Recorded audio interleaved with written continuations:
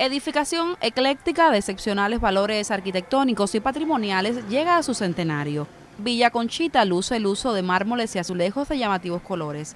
El yeso y técnicas similares al ferrocemento se emplearon para la confección de esculturas, fuentes y jardineras, una verdadera joya espirituana. Sin embargo, más allá de su belleza constructiva, tiene un encanto mayor que toca la sensibilidad de los visitantes. Desde hace 34 años ininterrumpidos, es residencia para menores sin amparo familiar. Actualmente 15 infantes disfrutan de un ambiente familiar sin compartir lazos sanguíneos.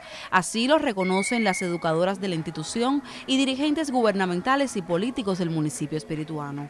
No por ser un centenario faltó la animación de la payasita Lidia Lelí y las actuaciones de los niños de la comunidad. Y es que en Villa Conchita el tiempo está anclado.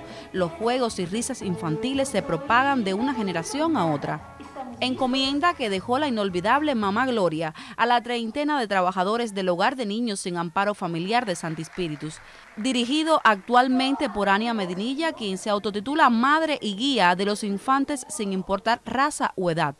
Convicción que le permite a Samuel David, pequeño de 17 meses, encontrar en brazos sustitutos la cobija de una madre protectora. Aileen Aymara López, Noticiario en Marcha.